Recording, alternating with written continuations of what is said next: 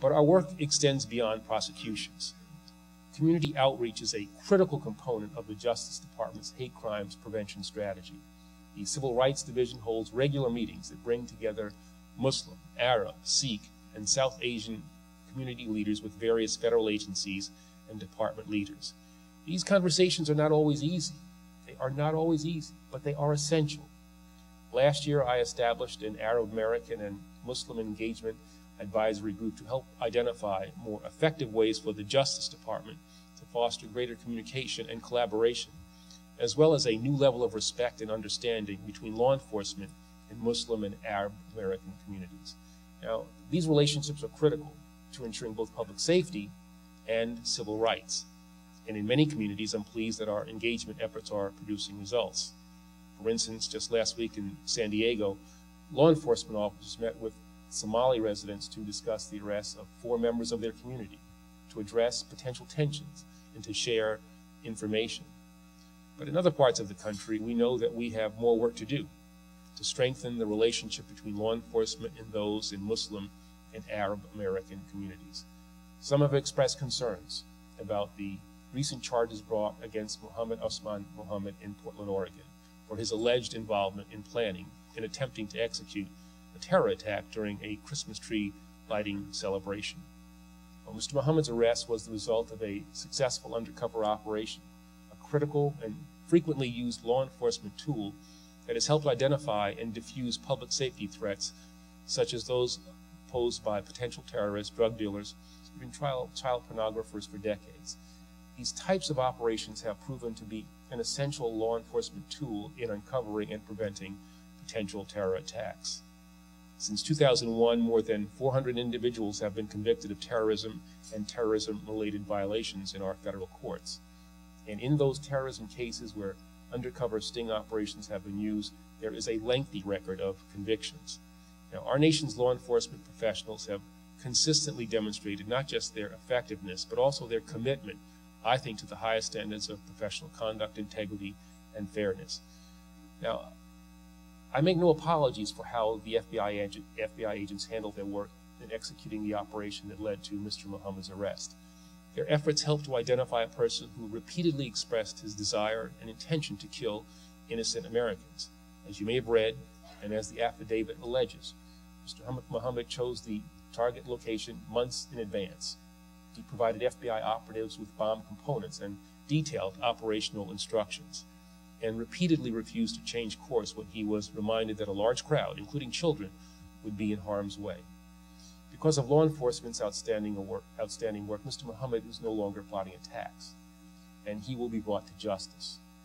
But you also have my word that the Justice Department will just as vigorously continue to pursue anyone who would target Muslims or their houses of worship.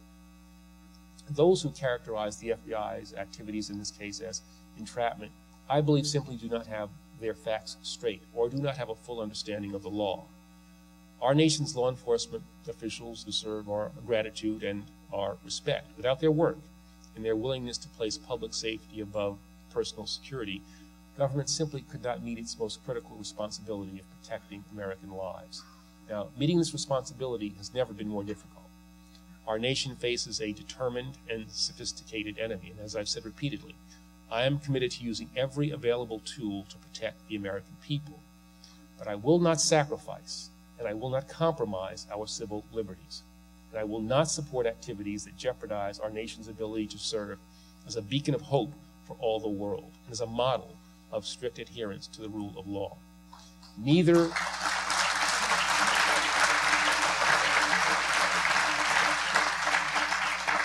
Neither will I allow, as long as I have the honor of leading the United States Department of Justice, neither will I allow Muslim and Arab American communities or any community of Americans to be persecuted because of their faith or national origin.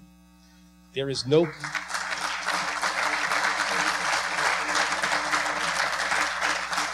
There is no question or doubt that threats to our national security are real.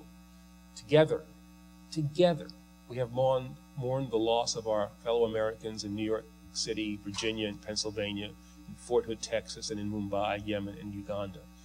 Each of these attacks was a reprehensible act of cowardice inspired by a radical and corrupt ideology, one that systematically denies human rights, devalues women and girls, and perverts the peaceful traditions and teachings of Islam. But as you know, and I know, the vulgar actions of a misguided few do not reflect the values of an entire faith or people. And while violence and the loss of innocent lives can be cause for anger and grief, we must not let it result in widespread bias and bigotry or in acts of vengeance.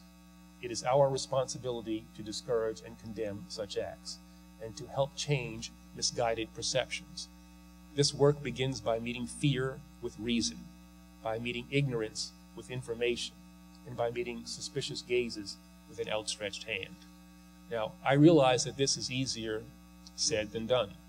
This requires great courage, and it requires uncommon grace. And yet, your organization and so many hopeful and committed individuals are finding ways to bridge divides. The public education efforts that you have launched and the steps that you are taking to unite law enforcement and Muslim communities are critical. You are paving new paths for cooperation. You are leading the way toward peace and healing. You are making a difference. You must keep at it. Too much is at stake. Too much is at risk. With your continued support, continued guidance, and continued partnership, I am confident together that we can confront and overcome threats to our fellow citizens and to all innocent people. I'm also certain that we can ensure that all components of our government can be as sensitive and respectful as they are effective. There is not a tension in that last declaration.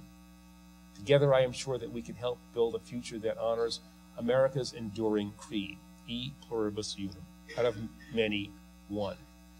So I thank you again for inviting me to join you this evening. I look forward to our continued collaboration in the pursuit of a more perfect union and a more peaceful existence for all Americans. Thank you very much.